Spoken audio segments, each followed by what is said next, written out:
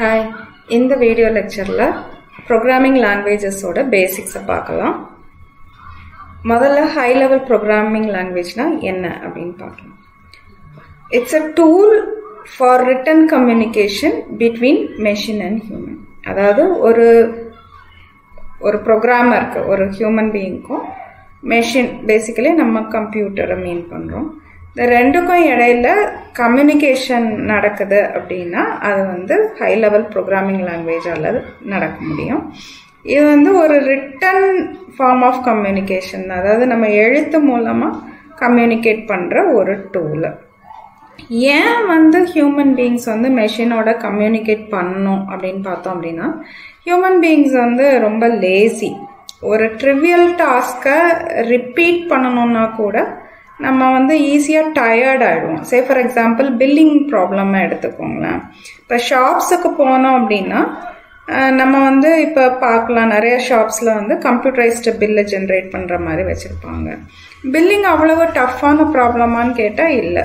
ஏன்னு கேட்டால் ஒரு தேர்ட் ஸ்டாண்டர்ட் ஸ்டூடெண்ட்டு கூட ஒரு செட் ஆஃப் நம்பர்ஸை கொடுத்தா ஆட் பண்ண முடியும். பில்லிங்லேயும் அதே தான் பண்ணுறோம் ஒரு கஸ்டமர் வந்து ஒரு செட் ஆஃப் ப்ராடக்ட்ஸ் வாங்கியிருப்பாங்க. அவங்க அதோட ப்ரைஸை நம்ம வந்து ஆட் பண்ணோம் அப்படின்னா நமக்கு வந்து எவ்வளவு பில் பே பண்ணணுங்கிற அமௌண்ட்டு கிடச்சிரும். பட் இந்த டாஸ்க்கை வந்து நிறைய கஸ்டமர்ஸ்க்கு ரிப்பீட் பண்ணுறப்ப நம்ம வந்து ஈஸியாக டயர்ட் ஆகிடுவோம் அப்போ வந்து நமக்கு மிஸ்டேக்ஸ் வர்றதுக்கு பாசிபிலிட்டிஸ் இருக்குது. ஸோ அந்த மாதிரி சினாரியோஸில் நம்ம வந்து வி ரிலே ஆன் மெஷின்ஸ் மெஷின்ஸை யூஸ் பண்ணி அந்த டாஸ்க்கு ட்ரிவியல்னாலும் ரிப்பீட்டடாக பண்ணுறப்ப நம்ம வந்து மெஷின்ஸை யூஸ் பண்ணுறோம் இப்போ இந்த பில்லிங்கை எப்படி பண்ணணும்? எத்தனை ப்ராடக்ட்ஸ் இருக்குது? அதை ஆட் பண்ணணுங்கிறத வந்து நம்ம கம்யூனிகேட் பண்ணுறதுக்கு வி ரைட் ப்ரோக்ராம் அந்த ப்ரோக்ராமை எழுதுறதுக்கு நம்ம யூஸ் பண்ணுறது தான் ஹை லெவல் ப்ரோக்ராமிங் லாங்குவேஜ் ஏன் ஹை லெவல் ப்ரோக்ராமிங் லாங்குவேஜை யூஸ் பண்ணணும் அப்படின்னு கேட்டிங்கன்னா மெஷின் வந்து பைனரி லாங்குவேஜை தான் அண்டர்ஸ்டாண்ட் பண்ணும். பைனரி லாங்குவேஜில் வந்து ப்ரெசன்ஸ் ஆஃப் வோல்டேஜ் ஒன்று ஆப்சன்ஸ் ஆஃப் வோல்டேஜுக்கு ஜீரோ இந்த ரெண்டு ரெப்ரசன்டேஷன் தான் இருக்குது. நம்ம யூஸ் பண்ணுறது வந்து நேச்சுரல் லாங்குவேஜை அது வந்து மெஷினுக்கு அண்டர்ஸ்டாண்ட் ஆகாது. அப்போ மெஷினுக்கு அண்டர்ஸ்டாண்ட் பண்ணுற மாதிரி கொடுக்கறதுக்காக நம்ம வந்து ஹை லெவல் ப்ரோக்ராமிங் லாங்குவேஜை யூஸ் பண்ணுவோம். இந்த ஹை லெவல் லாங்குவேஜை வந்து ஹை லெவல் லாங்குவேஜில் எழுதியிருக்கிற ப்ரோக்ராமை ஈஸியாக இந்த ஒன்ஸ் அண்ட் ஜீரோஸ்க்கு கன்வெர்ட் பண்ணிடலாம். ஸோ அதுக்காக தான் நம்ம வந்து high level programming languages use பண்ணுவோம். Examples of high level language பார்த்தீங்கன்னா நமக்கு C C plus plus Java Python இதை மாதிரி நிறைய லாங்குவேஜஸ் இருக்குது. இப்போ நம்ம வந்து என்ன டைப் ஆஃப் டேட்டாவை அந்த ப்ரோக்ராமிங் லாங்குவேஜஸில் ப்ராசஸ் பண்ணுவோம் அப்படிங்கிறத பார்க்கலாம். பேசிக்கலாக நம்ம ரியல் வேர்ல்டில் பார்த்தீங்கன்னா எதர் நம்ம நம்பர்ஸை ப்ராசஸ் பண்ணுவோம் இல்லைன்னா இந்த நம்ம இதில் இப்போ ஒரு டாக்குமெண்ட் வச்சுருக்கிறோம்ல இதில் யூஸ் பண்ணியிருக்கிற மாதிரி லெட்டர்ஸ் அதாவது ஆல்ஃபபெட்ஸ் அதை வந்து நம்ம ஸ்ட்ரிங்ஸ்ன்னு சொல்லுவோம். நான் வந்து நேம்ஸ் ஆஃப் ஸ்டூடெண்ட்ஸை ப்ராசஸ் பண்ணலாம். அட்ரஸ் ஆஃப் ஸ்டூடெண்ட்ஸ் இதை மாதிரி நிறையா இது இப்போ டேட்டா பார்த்தீங்கன்னா நமக்கு ஸ்ட்ரிங்ஸ்லேயும் இருக்கும். அதாவது ஆல்ஃபபெட்ஸை வச்சு க்ரியேட் பண்ணுற நான் நியூமரிக் டேட்டாவும் இருக்கும். ஸோ பேசிக்கலாக ரெண்டு டைப்பாக பிரிக்கலாம். ஒன்று வந்து நம்பர்ஸு இன்னொன்று வந்து ஸ்ட்ரிங்ஸு இந்த நம்பர்ஸில் வந்தீங்கன்னா ஹோல் நம்பர்ஸ் இருக்கும். இப்போ என்னோட ஏஜ் கேட்டிங்க அப்படின்னு சொன்னால் நான் வந்து எயிட்டீன் அப்படின்னு சொன்னேன்னா இது ஒரு ஹோல் நம்பர் இப்போ அதே இது என்னோட சிஜிபிஏ எவ்வளவு அப்படின்னு சொன்னால் நம்ம வந்து நைன் பாயிண்ட் டூ ஃபைவ் அப்படின்னு சொல்கிறோம் அப்படின்னா இது வந்து ஒரு ரியல் நம்பர் ஒரு ஃப்ராக்ஷன் இருக்கிறப்ப அதை நம்ம ரியல் நம்பர் சொல்லுவோம். இல்லைன்னா அதை ஹோல் நம்பர் சொல்லுவோம். பேசிக்கலி இவ்வளவு தான் டேட்டா எனி டேட்டா இமேஜ்னு எடுத்துக்கிட்டிங்கன்னா இப்போ கலர் இமேஜ்னா இப்போ என்னோட இமேஜோட சைஸ் வந்து டூ ஃபிஃப்டி பை டூ ஃபிஃப்டியாக இருக்குது அப்படின்னா எனக்கு வந்து ஒரு three two by two two two fifty by two fifty matrices இருக்கும். அந்த மேட்ரிசஸில் உள்ள நம்பர்ஸ்லாம் பார்த்தீங்கன்னா ஹோல் நம்பராக இருக்கும். அது மாதிரி இப்போ ஆடியோ எடுத்துக்கிட்டிங்கன்னா I will use a real number matrices so இது இதை மாதிரி தான் பேசிக்கலாக எய்தர் அது நம்பராக இருக்கும் இல்லைன்னா ஸ்ட்ரிங்ஸாக இருக்கும். எனி டேட்டாவை இந்த ரெண்டு கிளாஸிஃபிகேஷனுக்கு கீழே கொண்டு வந்துடலாம் இப்போ நம்ம லிஸ்ட் ஆஃப் ஆப்ரேட்டர்ஸ் என்னெல்லாம் இருக்குது? ஒரு high any high level programming language என்னென்ன டைப்ஸ் ஆஃப் ஆப்ரேட்டர்ஸ் எல்லாம் சப்போர்ட் பண்ணும் அப்படிங்கிறத பார்க்கலாம். ஃபஸ்ட்டு டைப் வந்து அரித்மெட்டிக் ஆப்ரேட்டர்ஸ் அரித்மெட்டிக் ஆப்ரேட்டர்ஸில் வந்து நமக்கு addition subtraction multiplication division modulus operation அப்படின்னா அஞ்சு different types of operation support பண்ணுவாங்க. ஒரு அடிஷன் ஆப்ரேஷன் பெர்ஃபார்ம் பண்ணுறதுக்கு மினிமமாக எனக்கு ரெண்டு இன்புட் இருக்கணும். அதோட ரிசல்ட் வந்து சம்மாக இருக்கும். ஆல்மோஸ்ட் எல்லா ஹை லெவல் ப்ரோக்ராமிங் லாங்குவேஜும் ப்ளஸ்ங்கிற ஆப்ரேட்டர் தான் அடிஷனுக்கு சப்போர்ட் பண்ணுவாங்க.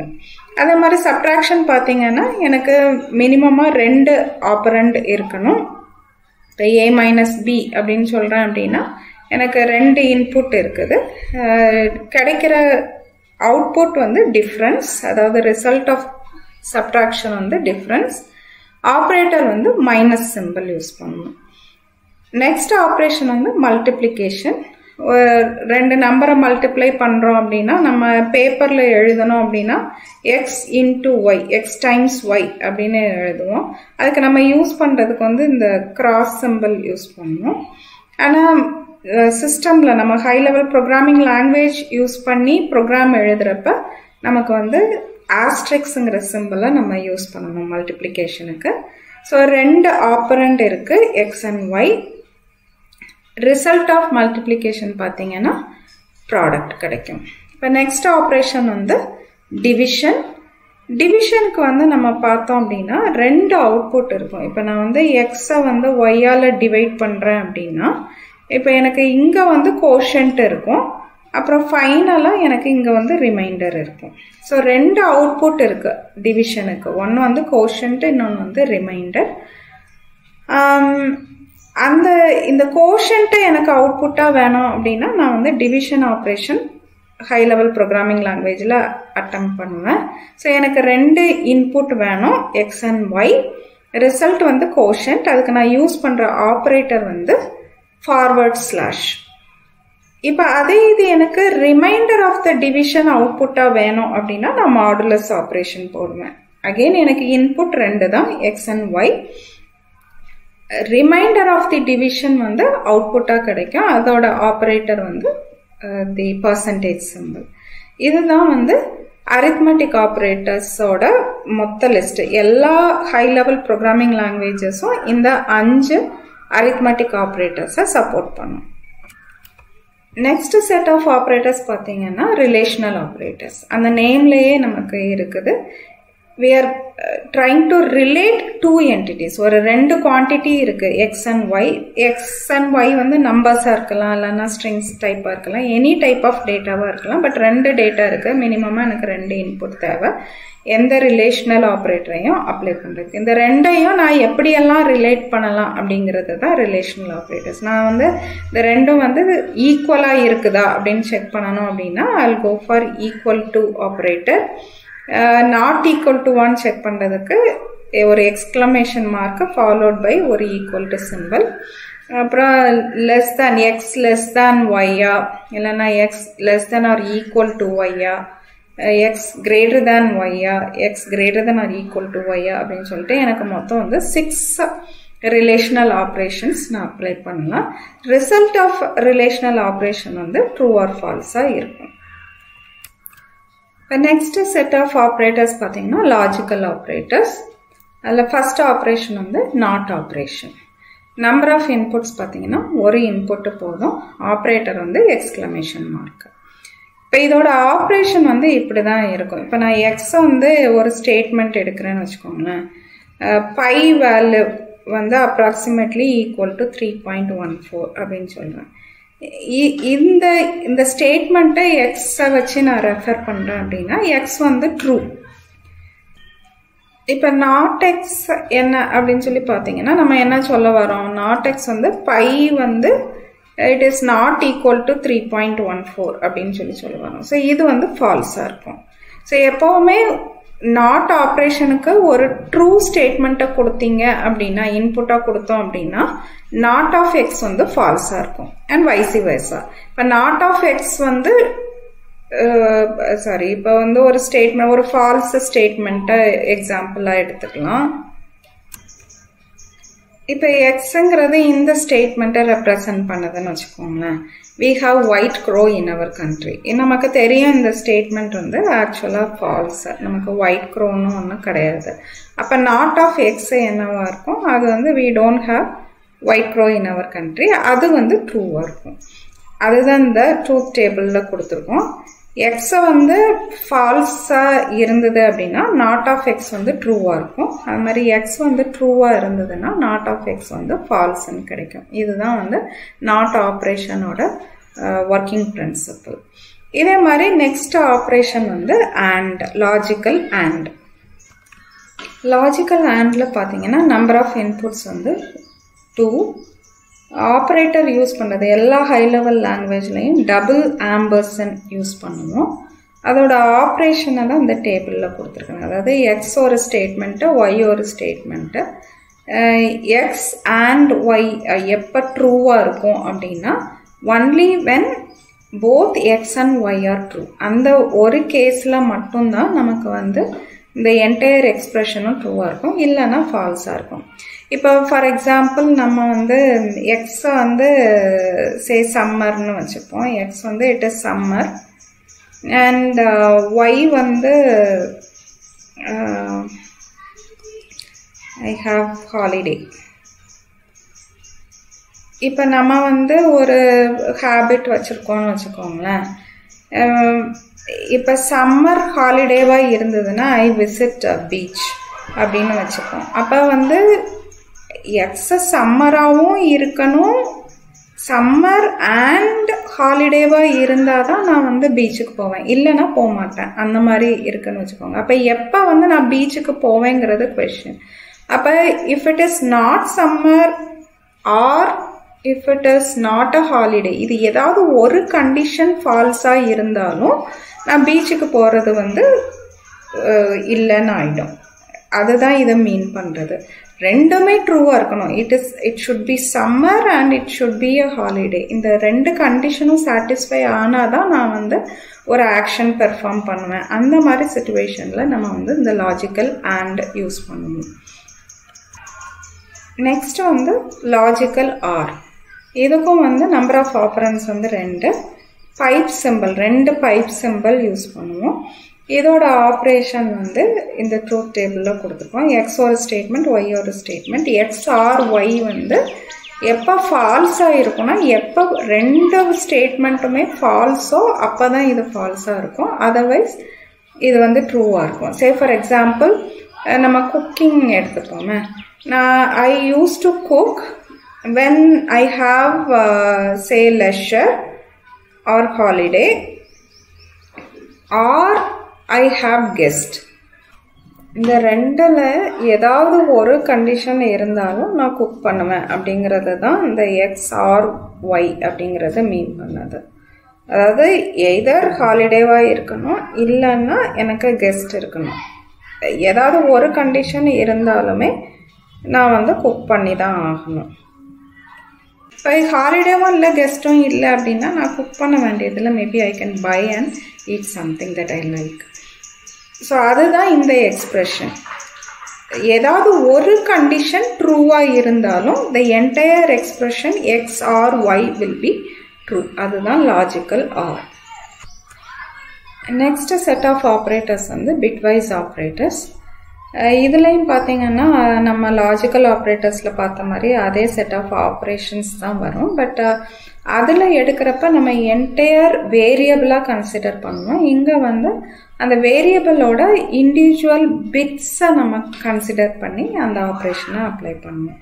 இதில் வந்து நாட் ஆப்ரேஷன் அதே மாதிரி ஒரு இன்புட்டு தான் எடுத்துக்கும். அந்த not operation bitwise not operation வந்து காம்ப்ளிமெண்ட் அப்படின்னு சொல்லி சொல்லுவாங்க.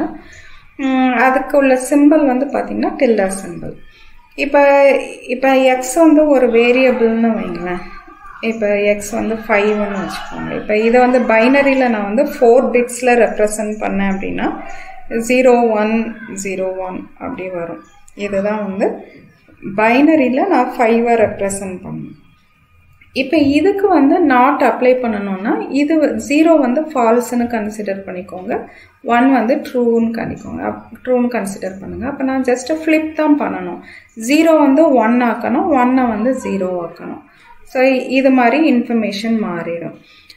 ஸோ இது ஒரு வேல்யூ இது ஃபைவு இதை நீங்கள் பைனரியில் இது பண்ணீங்கன்னா இது பைனரி ஈக்குவலன் டு டென்னு ஸோ டிஃப்ரெண்ட் இன்ஃபர்மேஷனாக மாறிடும்.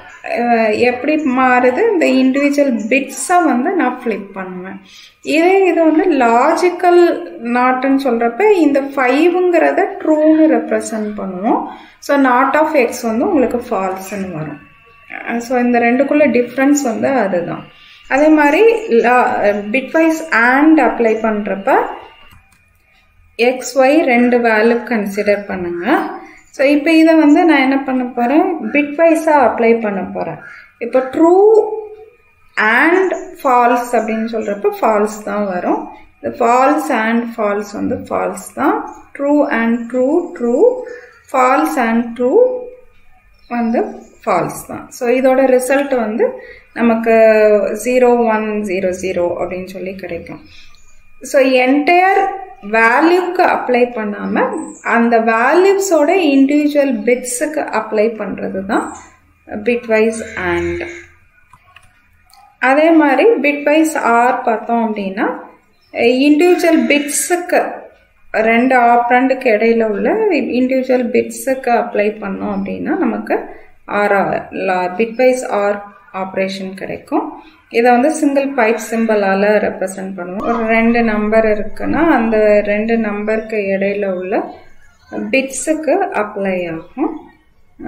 இப்போ ஒய் வந்து say for example one one zero zero இப்போ இது என்ன ஃபால்ஸ் ட்ரூ ஆர் ஃபால்ஸ் வந்து உங்களுக்கு ட்ரூ ஃபால்ஸ் ஆர் ஃபால்ஸ் வந்து false true or true true false or true is true so இந்த மாதிரி ஒரு நம்பர் கிடைக்கும். இதுதான் வந்து சாரி நம்பர் ஆஃப் இன்புட்ஸ் வந்து டூ ஆப்ரேட்டர் பார்த்தீங்கன்னா சிங்கிள் பைப் சிம்பிள் யூஸ் பண்ணுவீங்க. ஸோ இதுதான் வந்து லாஜிக்கல் ஆர் அடுத்த left shift operation left shift operation perform பண்ணுறதுக்கு ரெண்டு இன்புட் கொடுப்போம். இப்போ X left shift by Y times அதாவது டுவெண்ட்டி ஃபைவ்னு ஒரு வேல்யூ இருக்குது. பைனரியில் ரெப்ரசன்ட் பண்ணுறப்ப எயிட் பிட் ரெப்ரசன்டேஷன் யூஸ் பண்ணோன்னா இதை மாதிரி நமக்கு கிடைக்கும். இதில் வந்து நான் என்ன பண்ண போகிறேன் ஒயிட் டைம்ஸ் எக்ஸை வந்து ஷிஃப்ட் பண்ண போகிறேன் அதாவது ரெண்டு டைம் நான் வந்து லெஃப்ட் ஷிஃப்ட் பண்ண போகிறேன் அப்போ என்ன ஆகும் அப்படின்னா இந்த பிட்டு வெளியே போயிடும். இந்த பிட்டு வெளியே போயிடும். இது வந்து இங்கே வரும்.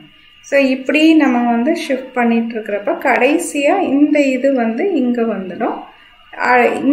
லாஸ்ட் லொக்கேஷனுக்கு வந்து ஜீரோ கொடுத்துருவோம் ஸோ இப்போ இதோட வேல்யூ பார்த்தீங்க அப்படின்னா இப்போ நம்ம ஒரு இது எல்லாம் வந்து பார்த்தீங்கன்னா weighted by two this is two power zero two power ஒன்னு ஸோ இப்போ ஒரு டைம் லெஃப்டில் இது பண்ணுறப்ப நம்ம இன்ட்டு டூ பண்ணுற மாதிரி. ஸோ இனிஷியலாக எக்ஸ் வந்து டுவெண்ட்டி ஃபைவ் இருந்ததுன்னா இப்போ எக்ஸ் வந்து ஃபிஃப்டீன் ஆகிடும் ஸோ ஒன் மோர் டைம் பண்ணுறப்ப என்ன இது வெளியே போயிடும். இந்த ஜீரோ இங்கே வரும் இந்த ஒன் இங்கே வரும் இது மாதிரி போயிட்டுருக்கோம். அப்போ கடைசியில் இந்த ஜீரோ இங்கே வரும் ஃபைனலாக இங்கே ஒரு ஜீரோ ஆட் பண்ணணும் ஸோ இதுவும் வந்து one more time multiplication by two அப்போ இது வந்து ஹண்ட்ரடுக்கு ஈக்குவலண்ட் ஆகிடும் எக்ஸ் வந்து ஹண்ட்ரட் ஆகிடும் ஸோ இதோட வேல்யூ வந்து ஹண்ட்ரட் அதே மாதிரி ரைட் ஷிஃப்ட் ஆப்ரேஷனில் வந்து நம்பர் ஆஃப் இன்புட்ஸ் வந்து டூ இதுதான் ரைட் ஷிஃப்ட் ஆப்ரேட்டர் ரெண்டு கிரேட்டர் தேன் சிம்பிளை கண்டினியூஸாக போடணும் வித்தவுட் எனி ஸ்பேஸாக இப்போ அதே மாதிரி எக்ஸை வந்து டுவெண்ட்டி ஃபைவ்னும் ஒய்யை டூனும் கன்சிடர் பண்ணால் x right shifted by two times வந்து என்ன ஆகும்னு பாருங்கள் இந்த இந்த ஒன்று வெளியே போயிடும். இந்த ஜீரோ இங்கே வந்துடும். இந்த ஜீரோ இங்கே வந்துடும். இதே மாதிரியே போய் பார்த்தீங்கன்னா இந்த ஜீரோ இங்கே வந்துடும். கடைசியாக இந்த லொக்கேஷனுக்கு ஜீரோ ஆட் பண்ணணும் ஸோ இது என்னாகும்? ஒரு டூவால் டிவைட் பண்ணுற மாதிரி நமக்கு ஆயிடுது. ஏன்னா ஒரு பொசிஷன் ரைட்டில் நம்ம தள்ளுறதுனால. ஸோ அப்போ எக்ஸ் வந்து இனிஷியலி டுவெண்ட்டி ஃபைவ் இருந்ததுன்னா ஒரு ஷிஃப்டிங்க்கு அப்புறம் எக்ஸ் வந்து twenty five by two integer division apply பண்ணணும். எனக்கு வந்து டுவெல்னு மாத்திரம் டுவெல் பாயிண்ட் ஃபைவ்னு வராது. டுவெல்னு வரும். ஏன்னா அந்த ஃப்ராக்ஷனை எனக்கு வந்து இந்த ரெப்ரசன்டேஷனில் ஸ்டோர் பண்ண முடியாது. ஸோ வந்து டுவெல்லுன்னு ஆகிடும் ஒன் மோர் டைம் பண்ணேன் அப்படின்னா என்ன ஆகும்? Twelve divided by two which is சிக்ஸ்ன்ற மாதிரி ஆகிடும் ஸோ இதுதான் வந்து ரைட் ஷிஃப்டோட ஆப்ரேஷன் நெக்ஸ்ட் வந்து டர்னரி ஆப்ரேட்டர்னா என்னென்னு பார்ப்போம். டர்னரினாலே த்ரீன்னு அர்த்தம். ஸோ எனக்கு நம்பர் ஆஃப் இன்புட்ஸ் வந்து த்ரீ நான் யூஸ் பண்ண போகிற ஆப்ரேட்டர் வந்து கொஷின் ஃபாலோட் பை ஒரு கோலன் இருக்கும். ரெண்டும் கண்டினியூஸாக வராது. அதை எப்படி யூஸ் பண்ணுறதுன்றத பார்க்கலாம். இப்போ எனக்கு எக்ஸ் வந்து twenty five Y equal to two இப்போ எனக்கு அமங் திஸ் டூ வேல்யூஸ் எது கிரேட்டரோ அதை நான் வந்து ரிட்ரீவ் பண்ணணும்னு வச்சுக்கோங்க. அப்போ நான் வந்து எக்ஸ் கிரேட்டர் தேன் ஒய்யா அப்படின்னு சொல்லி செக் பண்ணுறேன் ஆமாம் ட்ரூ அப்படின்னா எக்ஸ் தான் கிரேட்டர் வேல்யூ ஸோ எக்ஸை எனக்கு ரிட்டர்ன் பண்ணேன் ஸோ இங்கே நான் கொஷின் மார்க் யூஸ் பண்ணுறேன் இது வந்து ஃபஸ்ட் ஆப்பரன் இது வந்து செகண்ட் ஆப்பரன் இல்லை எக்ஸ் கிரேட்டர் தேன் ஒய் வந்து ஃபால்ஸாக இருக்குன்னா ஒய் தான் கிரேட்டர் அப்போ இது வந்து ரிட்டர்ன் பண்ண அப்படின்னு சொல்லி சொல்கிறேன் ஸோ மூணு ஆப்ரன் வந்தது. அதை வந்து நான் ஜெட்டில் ஸ்டோர் பண்ணுறேன் இந்த ஆப்ரேஷனோட ரிசல்ட்டை நான் செட்டில் ஸ்டோர் பண்ணுறேன் ஸோ எனக்கு பேசிக்கலி மூணு இன்புட் இருக்குது ஒன்று வந்து ஒரு எக்ஸ்ப்ரெஷன் அதோட ரிசல்ட்டு ட்ரூ ஆர் ஃபால்ஸுங்கிறத பேஸ் பண்ணி நான் எய்தர் இந்த செகண்ட் ஆப்ரன் இல்லைன்னா தேர்ட் ஆப்ரன்னு நான் வந்து ஏதாவது எக்ஸ்ப்ரெஷன் கொடுத்து எவாலுவேட் பண்ணலாம். ஏதாவது பண்ணலாம். பட் மூணு ஆப்ரன்ஸ் நமக்கு இந்த டர்னரி ஆப்ரேட்டருக்கு இருக்குது இந்த ஃபைவ் செட் ஆஃப் ஆப்ரேட்டர்ஸ் தான் list of operators any high level program language will support இந்த ஃபைவ் ஃபைவ் ஆப்ரேட்டர்ஸ்க்கும் கண்டிப்பாக எனி ஹை லெவல் லாங்குவேஜாக இருக்கட்டும். அது சியாக இருக்கட்டும். சி ப்ளஸ் ப்ளஸ்ஸோ ஜாவாவோ பைத்தனோ இது இந்த இந்த அஞ்சு செட் ஆஃப் ஆப்ரேட்டர்ஸ்க்கு மினிமலாக ஆப்ரேஷன் லெவலில் சப்போர்ட் இருக்கும். அதாவது எனக்கு வந்து ஒரு ஆப்ரேட்டரை வச்சு நான் இதை யூஸ் பண்ண முடியும் முடிகிற மாதிரி இருக்கும்.